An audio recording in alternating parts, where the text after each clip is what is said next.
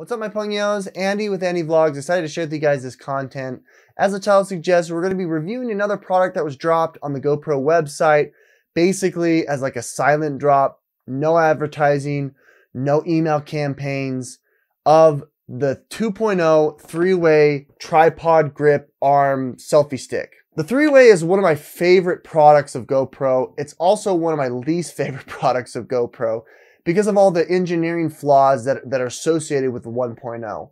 They've revamped it. They've come at it at a different angle. I think what they've got to offer here is going to be awesome for those that go out, explore, have fun, shoot this as their daily driver. Just so you know, this is not a sponsored review. GoPro has in no way collaborated with me, which I hope they do.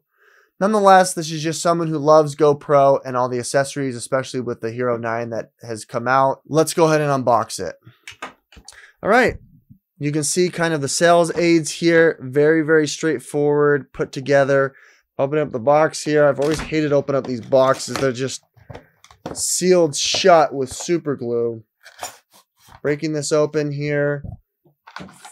Firstly, it comes with a wrist strap, which is great. Flip it over, you've got your instruction information.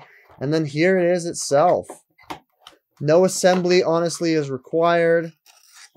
Although it is a little disappointing that it appears that it doesn't come with any of the extra hardware to attach to this mount. It does nicely fold into itself ergonomically. You've got these rugged twisty clamps here, as well as the second joint rugged twisty clamp. I like the touch of the wrist grip. It did have the place to put it on the 1.0, but you just had to buy it yourself. The whole device itself can kind of tilt on this one axis, which is nice.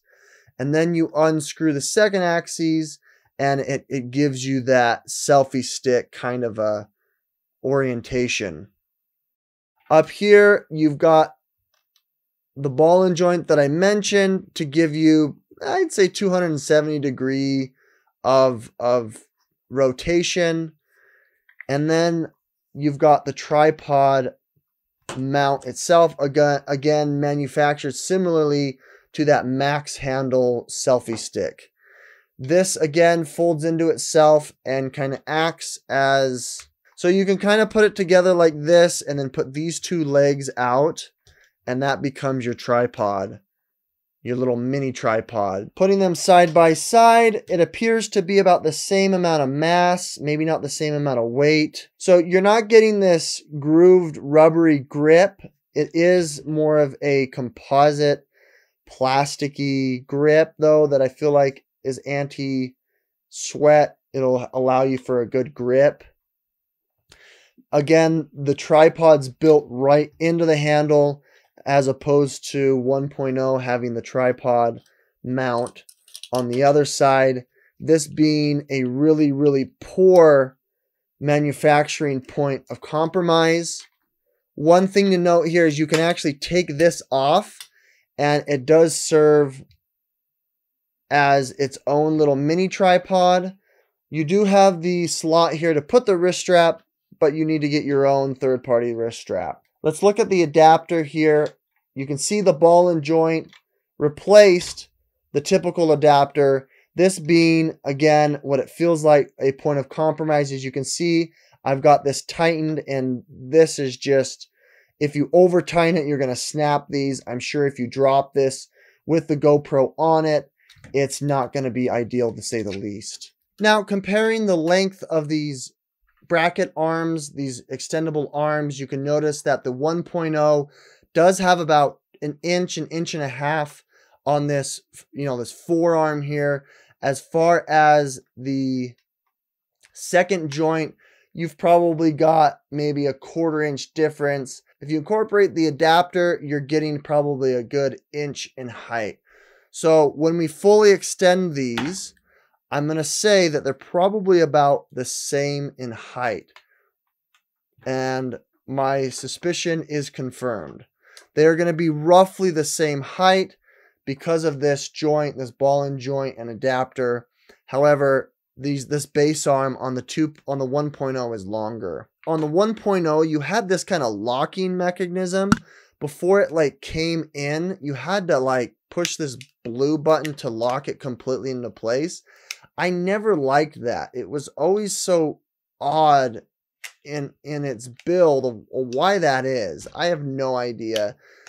For putting it away, I also never found that it fully closed on itself. You always had this gap. When you have it like this and then you fully tighten it, it still moves quite a bit. This joint itself does not give you a secure fasten, and that's what always bothered me about this device. In start comparison here, we're going to go ahead and tighten this joint and I can't move that. I mean, I could, but I'm not going to because it, it might break. A very, very strong and reasonable locking mechanism here.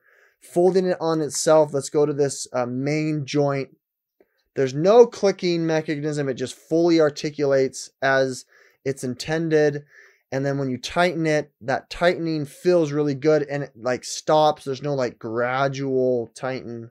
This joint itself is very, very sturdy. I feel like when you tighten it, again, it's not moving. It's not going anywhere. So that's, that's really, really comforting because I sat at Disney World and I placed this and had it upright and it literally fell when I was trying to take a picture with the family. It bothered me. I was annoyed.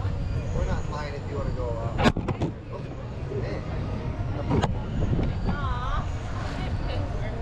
I'm glad they revamped this. So now that the 2.0 provides you a very, very stable, sturdy tripod as well as very sturdy joints so that, you know, if blown by weather, it's not impacted.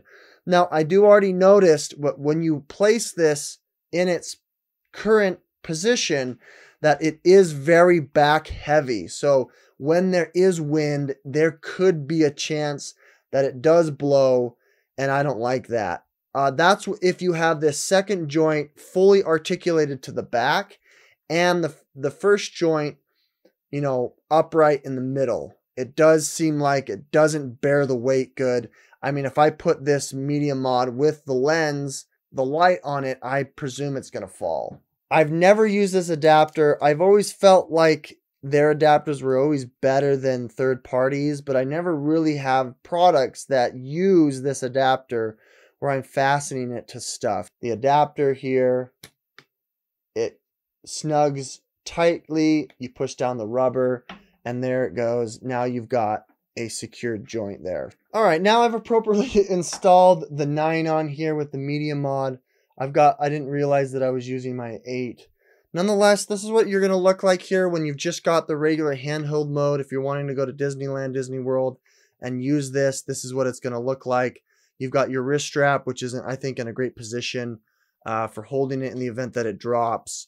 I've got the tripod uh, opened up. It doesn't quite correlate with when it is in that standard position, but when you've got the tripod legs out, um, it does give you more stabilization. You're just going to change the direction of the ball and joint. That'll give you a nice stable hyperlapse or time lapse. Let's go ahead now and extend it up higher. If you want to have it more of a front facing, maybe about a foot or two off the ground, I think this is reasonable. It is very top heavy to say the least, but I think this tripod is giving you a good, stable, full holding. Although if it does bump from the back, you're you could be you could be a dunzo. If you're setting this up for a time lapse, group shot, fully out, stretched, it is definitely much more wobbly. It's back heavy, and that's kind of what I feared. I'm just not really comfortable putting this upright on the ground for longer than maybe a few seconds because of how like not stable it is. But that's what it looks like standing upright.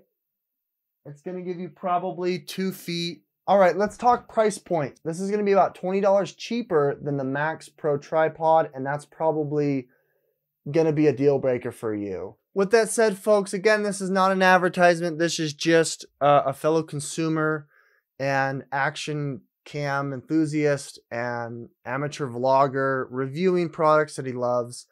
Um, if you're looking for, honestly, an option better than the Max tripod and you already have this in your arsenal, I wouldn't recommend this. However, if you're deciding on the two, I think because of the versatility here of the grip with the strap, it's going to be better as, as far as um, the price point goes as well. If you were choosing between these two, don't get this. If you're choosing to upgrade, definitely get it. This is a liability. I've dropped my camera already a couple of times because of this. All in all, the three-way 2.0 is is really exciting. I'm really glad and, and hopeful for this. If you liked any of this content, folks, hit that like button. Uh, subscribe if you want to see more. Any products in this video that you saw that you're interested in, I have links for as well in the description. Thank you so much for watching. Andy with Andy Vlogs signing out.